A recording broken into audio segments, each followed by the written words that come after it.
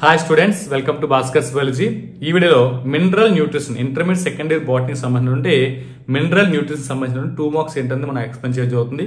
Video మనం ఎక్కడ skip చేయకుండా లాస్ట్ చూడండి. నచ్చితే లైక్ చేయండి మీ ఫ్రెండ్స్కి షేర్ చేయండి. ఈ వీడియో చూసిన అవసరం నా ఛానల్ సబ్స్క్రైబ్ చేసుకో సబ్స్క్రైబ్ చేసుకోండి.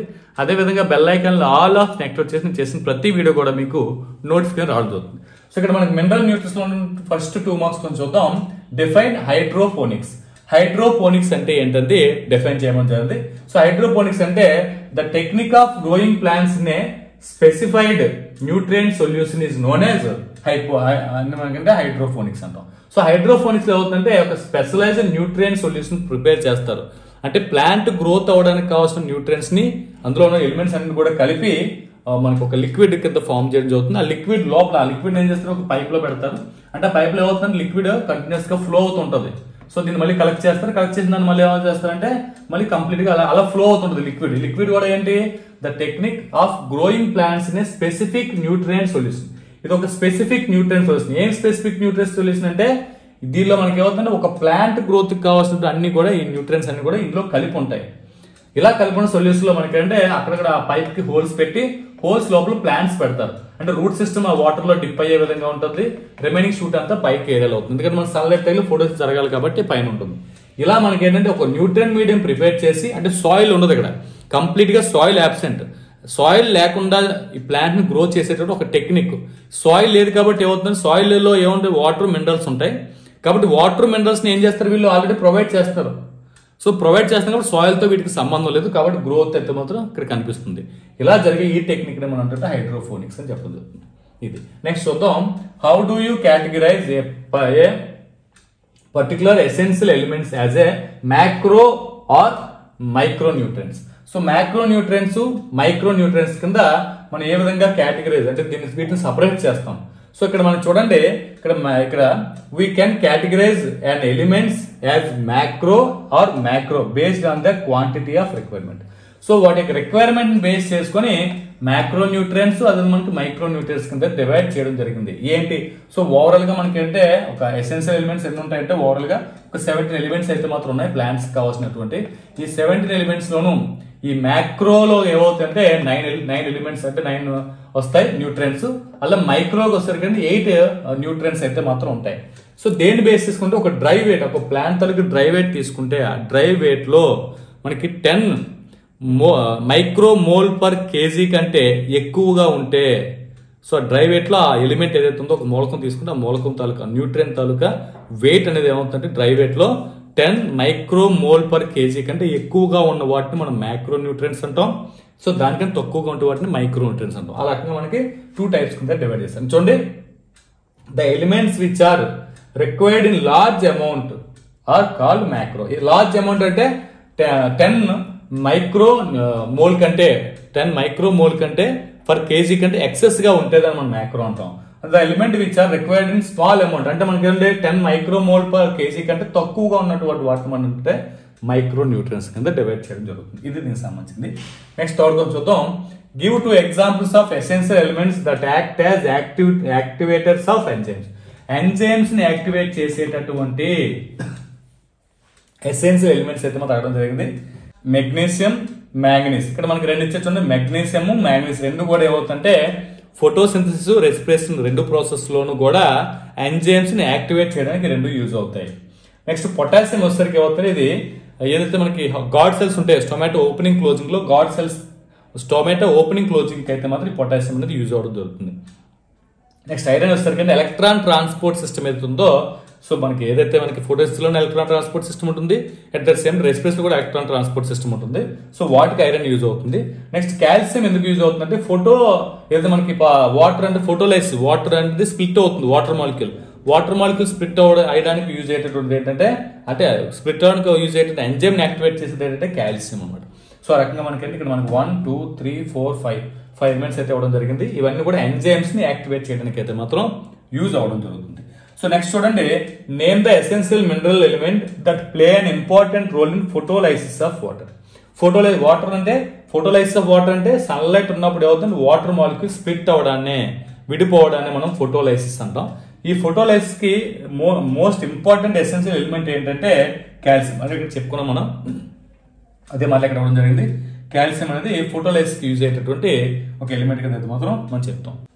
Out of seventeen essential element which element are called non mineral essential elements so non mineral essential elements ఏంటి? ఆల్రెడీ మనకి సెవెంటీన్ ఎలిమెంట్స్ చెప్పుకున్నాం.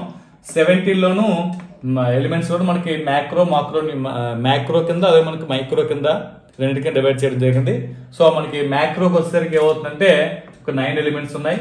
మైక్రోలో వచ్చేసరికి ఏమవుతుందంటే ఒక ఎయిట్ ఎలిమెంట్స్ ఉన్నాయి. అయితే ఇలా అవుట్ ఆఫ్ సెవెంటీన్లోనూ నాన్ మినరల్ ఎసెన్షియల్ ఎలిమెంట్స్ ఏంటని అడిగాడు. ఏంటంటే కార్బన్ ఒకటి హైడ్రోజన్ ఈ రెండు కూడా ఏవైతే మనకి నాన్ మినరల్ ఎసెన్షియల్ ఎలిమెంట్స్ కింద అయితే మాత్రం మనం చెప్పుకోవడం జరుగుతుంది. ఏది? కార్బన్ ఒకటి హైడ్రోజన్ ఒకటి. సో నెక్స్ట్ సిక్స్ కొంచెం చూద్దాం. Name two amino acids in which sulphur is present sulphur ఉన్నటువంటి అమైనో ని ఎగ్జాంపుల్ అడిగాడు. సో మనకి అమైనో యాసిడ్స్ అంటే ప్రోటీన్ సింథసిస్లో యాసిడ్స్ యూజ్ అవుతాయి. అమైనో అన్ని కలిపితేనే మనకి ప్రోటీన్ కింద ఫామ్ అవుతుంది. సో ఇక్కడ మనకి సల్ఫర్ ఉన్నటువంటి ఎమైనాసిస్ యాసిడ్స్ ఏంటంటే సిస్టెన్ ఒకటి మిథియోనిన్ ఒకటి. ఇలా రెండు ఇచ్చాడు సిస్టెన్ ఒకటి మిథియోనిన్. రెండిట్లో కూడా సల్ఫర్ ఉంటుంది. అంటే మనకి ఇందులో ఉన్నటువంటి కార్బను హైడ్రోజన్ ఆక్సిజన్ నైట్రోజన్తో పాటు సల్ఫర్ కూడా వీటిలో ఉండడం జరుగుతుంది. ఈ రెండిట్లోనూ. ఇది ఇక్కడ ఇచ్చింది. నెక్స్ట్ క్వశ్చన్ చూద్దాం.